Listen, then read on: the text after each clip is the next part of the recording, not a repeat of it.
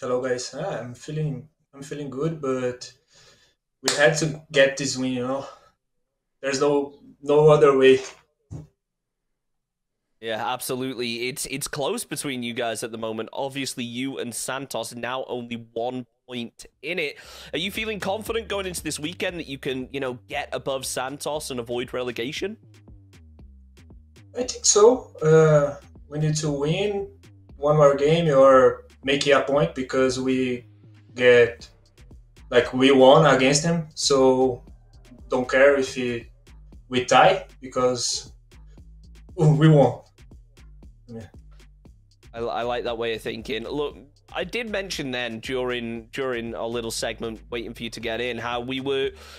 We often see teams down at the bottom of the standings. They're teams that really don't perform well under pressure, but it seemed very different with you guys. Are you a squad where when you're in crunch time and you know that there's the potential that if this goes wrong, it's all over? Do you think that that's where you thrive?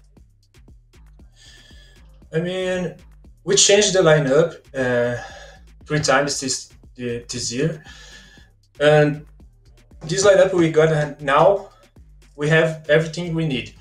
Uh, just need time to get the things on the way, and we're gonna start winning, winning and winning matches.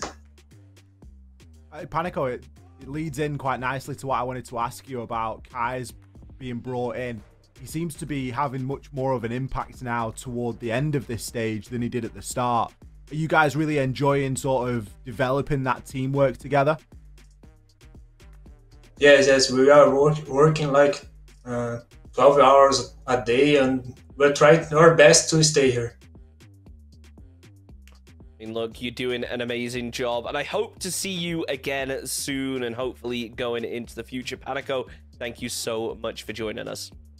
Thank you, guys. Well, game